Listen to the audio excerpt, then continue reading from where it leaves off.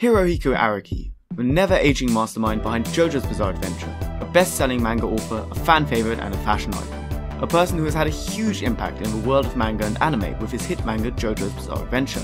I believe it makes sense that if one wants to document the rise of JoJo, one should first take a look at the author behind the manga. Hirohiko Araki was born on June 7, 1960, which makes him 61 years old as of the publishing of this video. He was born and raised in Sendai, a large city north of Tokyo known for its gyutan, multiple historic sites related to the Date clan, beautiful scenery, and more recently, a rather sarcastic British person who is YouTuber. Are you YouTuber? I am. Chris Broad. Araki was the older brother to his younger twin sisters, which he jokingly claims he would have killed had it not been for manga. Due to him and his sisters frequently clashing, Araki often escaped them by burying himself in the world of manga, a passion which he had inherited from his father who was an office worker. His favorite was Aito Makoto by the way, a story about Makoto, a troubled high school student arriving in Tokyo to exact revenge for a previous incident. There he falls in love with Ai, a girl from a rich family. However, both of them have other admirers who are vying for their love. The manga is a cult classic in Japan despite not receiving much attention in the West and has four live action adaptations. But at this point you might be wondering, everybody reads manga. What made him want to draw? The answer Araki gives is also thanks to his father, more specifically his father's art books. The classical theme of these art books can easily be connected to Araki's drawing style, which stands out like a sore thumb in the world of manga and anime. His primary influence being French artist Paul Gauguin. After his work had been praised by a few of his classmates, Araki secretly started drawing manga in 4th grade. He then started pitching his manga to publishers in his first year of high school, all of which were rejected. These rejections, along with the fact that younger artists than him were finding success, made Araki formulate a plan to travel to Tokyo, march into the Shogakukan, publishers of Weekly Shonen Sunday, and demand an explanation for his rejections. However, the sheer size of the building intimidated him, making him enter the Shueisha building, the publishers of Weekly Shonen Jump, instead, to pitch his newest creation, which he had stayed up all night to finish. The editor he pitched the manga to criticized the work page by page, which exhausted Araki but saw potential and made him finish up the one shot in time for the Tezuka Award, an award held by Shueisha which aspiring mangakas submit their one shots to for a chance to appear in a magazine and maybe receive a serialization. And so his first one shot, Poker Under Arms, was published in 1980 after becoming a selected work in the Tezuka Award. The one shot has a western theme and focuses on two cowboys, each with a bounty of $10,000 on their head.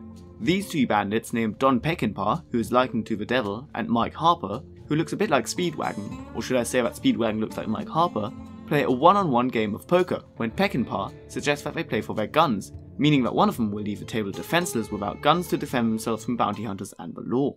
His first serialization came to him in 1982 to 1983 with his work titled Cool Shock BT, which follows BT and his unwilling friend Koichi as they solve mysteries, sometimes through barely legal means.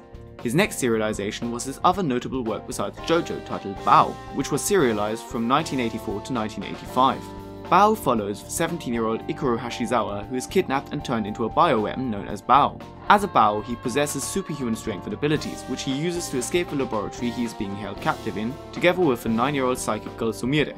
However, since the Baoh virus is infectious, the head of the laboratory, Professor Kaso Minome, sends multiple monsters and assassins after Ikuro to try and stop him from spreading the Baoh virus.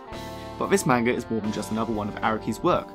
Baoh could even be called a precursor to JoJo. Let's just take a closer look. Baoh is the first manga which features Araki's extremely striking art style with large muscular men. It is also Araki's first manga which features his signature amount of gore. Another thing that Araki introduced to his skill set with his manga was fighting, something which had previously not played a major role at all. And Araki's habit of drawing poses also seems to have originated from this manga. This is also the first manga in which Araki drew something supernatural, something that would continue throughout his later works including JoJo. And one more thing I noticed while researching this is that Baoh bears a striking resemblance to both Star Platinum and Kars to a lesser extent. Just take a look and let me know whether you think so too in the comments, but I think I can definitely see a resemblance. Anyway, back onto the main topic. The manga then ended after running for around half a year and was released in two volumes.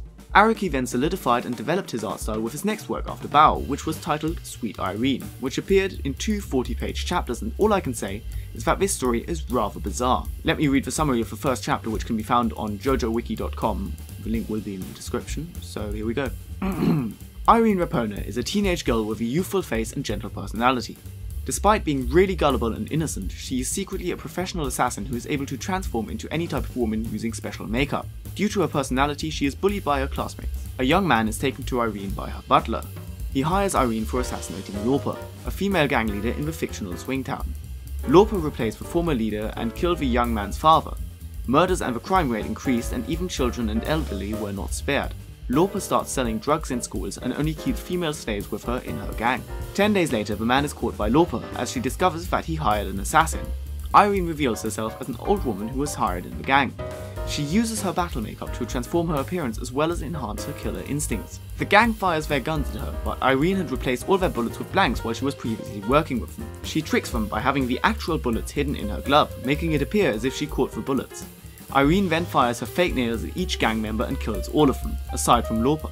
Lorpa attempts to attack Irene with a giant chainsaw, but Irene dodges all of it and learns Lorpa's movements with her special death dance. Irene's heart magic allows her to take control of Lorpa's body after Lorpa smells the scent of her perfume. She manipulates Lorpa into cutting herself in half with a chainsaw by using her execution makeup. Irene expresses sorrow that the young man spoke about her to Lorpa. She lets him live because she had promised to and then leaves.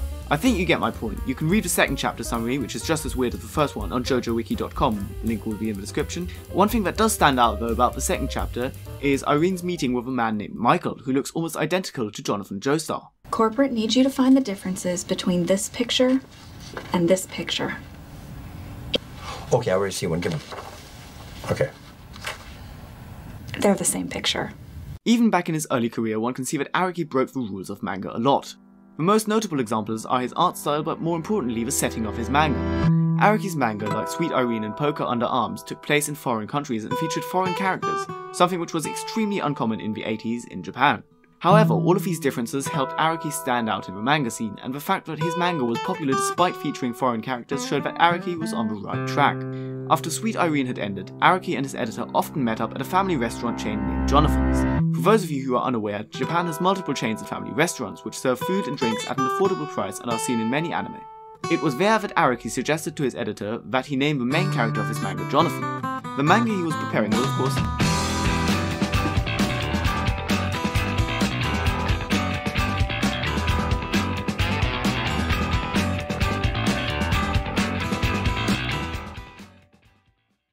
Thank you very much for watching the first part, I hope you enjoyed it, and if you did, you might want to press the subscribe and like buttons and maybe even share the video with your friends. Uh, I also have an Instagram too, uh, at lennyaw underscore yt. Thanks in advance for doing all of that, and uh, have a nice day.